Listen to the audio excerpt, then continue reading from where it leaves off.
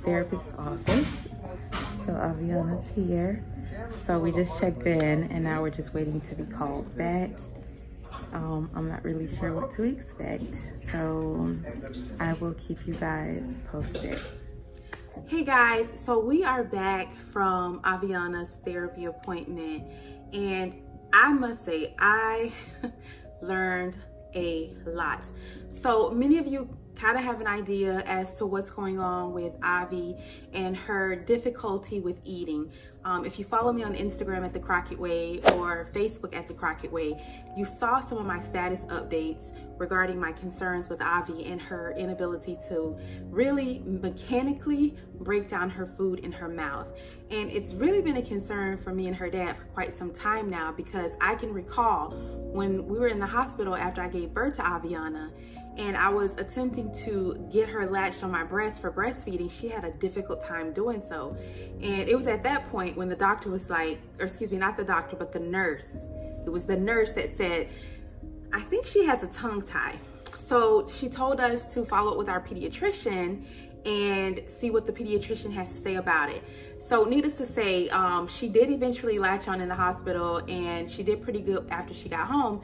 So a couple days after leaving the hospital, um, we went to see the pediatrician and we had mentioned to the pediatrician that the nurse had mentioned that Aviana may have a tongue tie if she could be evaluated for that. So the doctor did his physical assessment on her and he said that he couldn't see any evidence of a tongue tie. So it was at that point, you know, we were like, okay, so the doctor doesn't see it, you know, maybe, you know, that wasn't the case. And like I said, she started eating fine with no issues whatsoever. So we didn't have any really, any huge concerns regarding that. So fast forward, here we are a year later and Aviana is having trouble eating. So I thought maybe it was because, you know, there was some sort of delay or um, maybe it was something else that I just couldn't figure out on my own. So today we took her to the speech therapist. The doctor recommended that we take her to the speech therapist to be evaluated because she's at an age now where nutrition is really important. I mean, it's important as an infant, but a variety of nutritional meals are important at her age.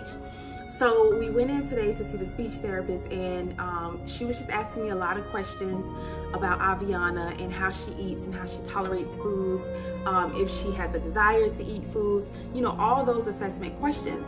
So then she um, basically told me to go ahead and just breastfeed her because she wanted to evaluate how she suckled. So I did that and she immediately saw when Aviana opened her mouth, she saw that Aviana had a physical, physiological um, issue that affected the way she ate. And what that is, she said that it looks like Aviana has a posterior tongue tie. That infamous word came back up, tongue tie. And she says, that's why your child is having trouble with eating. And so I asked her if she could kind of explain to me what a posterior tongue tie is because I had really no idea what it is or even the ramifications of it. So I'm gonna go ahead and insert right now what um, my research is on the posterior tongue tie.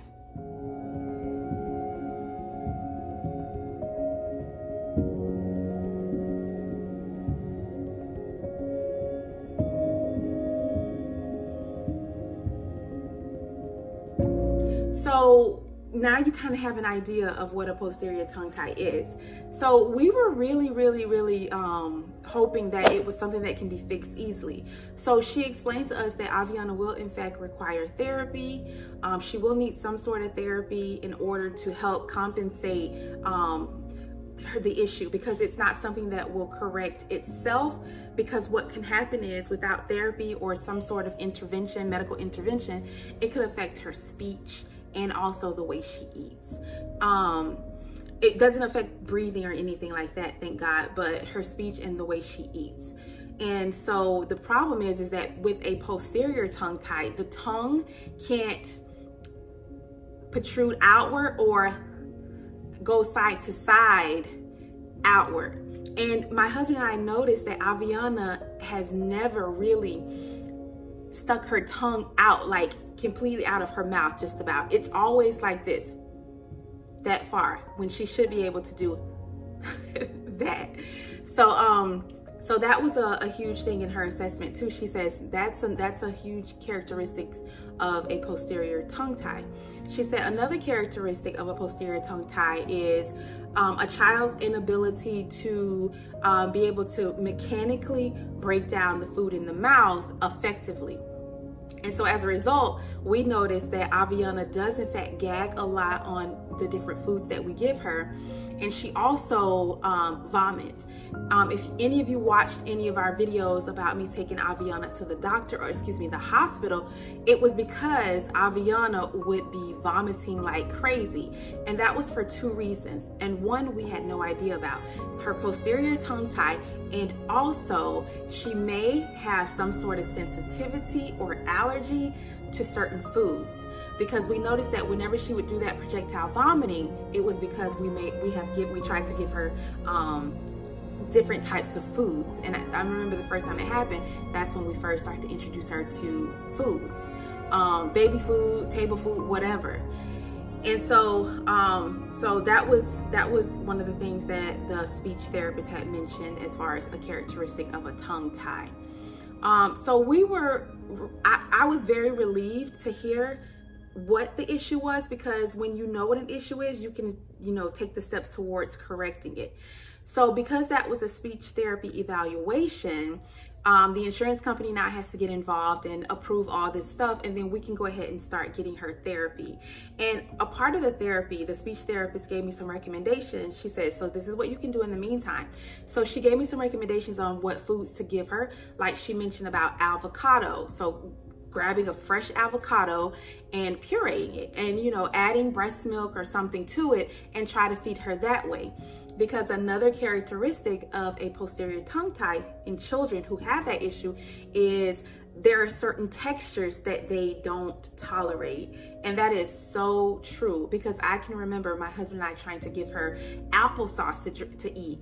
And she would like take a couple bites of it and then she would be done with it. And I can almost see her just sticking her tongue in her mouth trying to get the applesauce off of her tongue. There are other meals, foods that we have given her, and she just does not like the texture of it. If you actually watched us on Facebook when we went live on Facebook for her birthday celebration last Saturday, you noticed that whenever Aviana went for her cake and she touched it, she moved her hand away really fast because just the feel of it just grossed her out. So one of the recommendations was to find some foods that she can really acclimate with, like yogurt. That's something easy because it doesn't require any chewing. It's very low in texture. So, um, um, so avocado yogurt, which um, I'm gonna share with you guys today. Um, what happened when we gave her the yogurt today. So I'll, I'll show you guys a little bit later. Um, another recommendation is that she told us is to allow um, her to have chicken broth or beef broth or bone broth or vegetable broth because it doesn't require, you know, that mechanical um, movement that, that will be required to break down like meats and stuff like that. So she says, give her that and we're gonna progress her to other things. So, um, so those were one, those were a few of the recommendations that she gave us. So the next thing she says is, she asked me about breastfeeding and I told her, I said, Aviana still breastfeeds throughout the night and she does. And, you know, realistically, Aviana breastfeeds every two to four hours. She's breastfeeding kind of like, she's on an infant's breastfeeding schedule. And so she made mention to me about grazing. Aviana grazes, you know, and she says at this age she shouldn't be doing that. And I I'm acutely aware of it, but when your child doesn't eat, you know, you you don't just cut things off. So um, in a sense, I kind of created a little monster, not calling my baby a monster, but I created this whole um, grazing thing because I, I allowed her to continue to eat during the night because I mean, what I, I just, my baby needed to eat, right? So, um, so her rec recommendation is when we do start therapy, we're gonna try and wean her off of the breast. Now, many of you, if you have followed us on Instagram and Facebook at The Crockett Way, you would see where I would talk about Aviana not taking a bottle ever. You know, um, she actually did take a bottle the first two weeks of her life and then that was it. She refused to take a bottle anytime after that. And we actually were able to find a sippy cup that she likes because she did not even like sippy cups. So we got these sippy cups here. This is the um, the Magic 360 sippy cup. And just over the past week, she's learned how to drink from it and she's really, really good at it. So what I'm gonna do is I'm gonna pump and give it to her that way. So that was some recommendations. So um, that's what's going on with Avi right now, guys. She has a posterior tongue tie and that's why she's having trouble um, eating. So I'm just so grateful that we finally figured out what the issue is because, you know, we want her to eat. Um, she did mention to me that we may have some difficulty with um, the insurance company, you know, buying into this because Aviana is so healthy. Um, just by looking at her, you would not know that she's just exclusively breastfed and not eating anything else really. Um, so I thank God for that, that as a result of her physiological um, issue, that she can still get nutrients enough to keep up a, head, a healthy um, weight for a child her height and age. So I'm really, really grateful for that. Um, but I'm running into some issues with continuously breastfeeding her, and that's because of her anatomy is changing, her jaw and all that stuff, everything is changing. It's causing her to latch on really hard. And so I'm finding that after meals, my nipples are really, really sore because she does, she latches so forcefully now. You know, her, her jaw muscles are a lot stronger than they were when she was much smaller. So um, it's just a few issues that, that are occurring. Um, my goal was to breastfeed Aviana for a year, and God allowed me an opportunity to breastfeed her for a year. So I feel that it's time to move on, to allow her to progress to other things and I'm okay with it. I'm totally, totally fine with it. You know, I know a lot of women, they can't or didn't breastfeed as long as I did. And I'm just very, very grateful. But I am now ready for her to move on to the next phase of her life. And that's eating table food and drinking from a cup. Um, so, so yeah, so the there's another thing that she had mentioned to me. She said that if therapy doesn't work well enough, um, she said that there may be um, medical intervention that's required, like surgery. So we don't really want to get too ahead of ourselves, um, but she did mention that to me as a possibility. Um, so later down the road, if therapy does not work. So I'm hoping that therapy will in fact work and surgery will not even be an option. So um, I'm just asking that those of you who do believe in the power of prayer to please pray for our baby girl, Avi um, that she will get through this, that we will all get through this. So on a po excuse me, on a positive note, I want to mention to you guys, so I went to the store, we stopped at the store on the way from therapy and we went and got yogurt, the Gerber baby yogurt. It's, it, it's really, really good. Actually, I tried it myself. It's the strawberry. And um, the speech therapist said to me, during meal times, she said, strip her completely naked, you know, of course, leaving a diaper on her, but strip her and allow her to really just dive into the food. She says, don't, you know, clean her up because she gets it on her face or on her chest. She says, let her feel the food on her body because kids with her condition, posterior tongue tie, they have a, they have a tendency of not liking the way you know stuff feels because it's a texture issue so because kids use their mouths to explore the world having foods and things all over them, you know, will help desensitize them. So she says, strip her down and just let her go to town. So Kendrick and I have been allowing her to just play with her food. You know, every I feed her like breakfast and lunch. I'll put her food on her high chair and I, I know she's probably not gonna eat it, but I, I let her just kind of explore with it. So the, the speech I was really um, impressed that, you know, I knew to do that. So she says stripper. So I hadn't been doing that. So today with the yogurt, what I did was I just took the, the foil um, the foil, I just pulled it back and I got one of her kitty spoons and I placed it inside of there and I placed it on top of her high chair table, put her in the high chair and I said, go to work.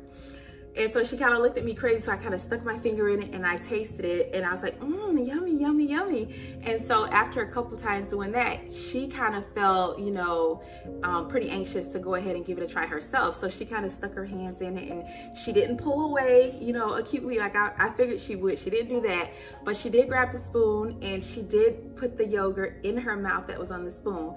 And she liked it, guys. She actually liked it.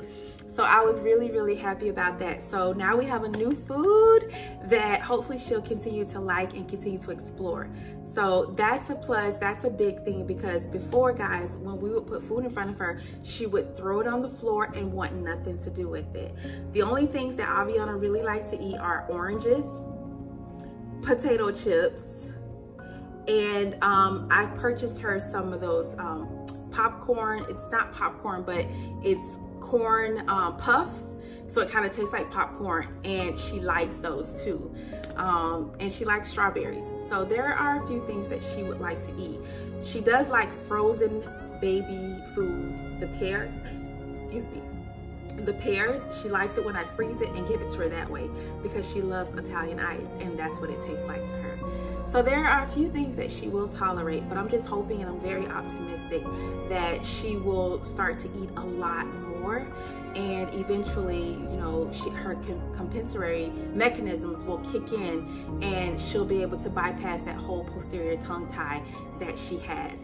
So I just want to thank you guys so much for listening to our video. I wanted to make sure that you guys come along with us on this journey of learning more about um, tongue ties in children, especially our baby girl, and how we're overcoming this challenge. It is a challenge because it's food, guys. It's food. You, you, our babies, are, we, we live for food. You know, we live, um, in order for us to live, we have to eat. That's what I'm trying to say.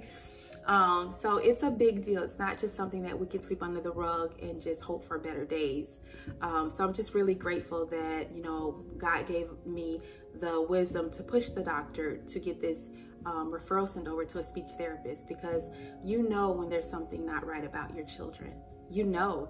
And that's an instinct that we should all trust as parents. You know, don't always take what the doctor says as gold. You know, the speech therapist actually mentioned to me today, she said, I wish she would have come in earlier. You know, and that hit me so hard in my gut because it was the nurse at the hospital that said she has a tongue tie.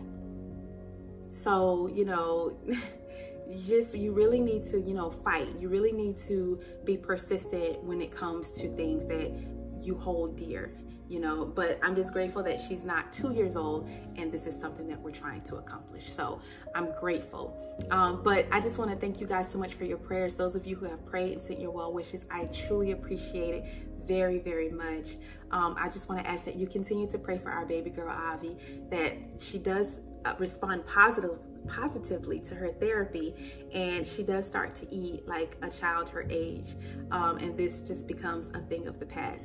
So um, if you are new here thank you so much for coming. If you would love what you see and would like to see more of what we have to offer we upload at least twice a week.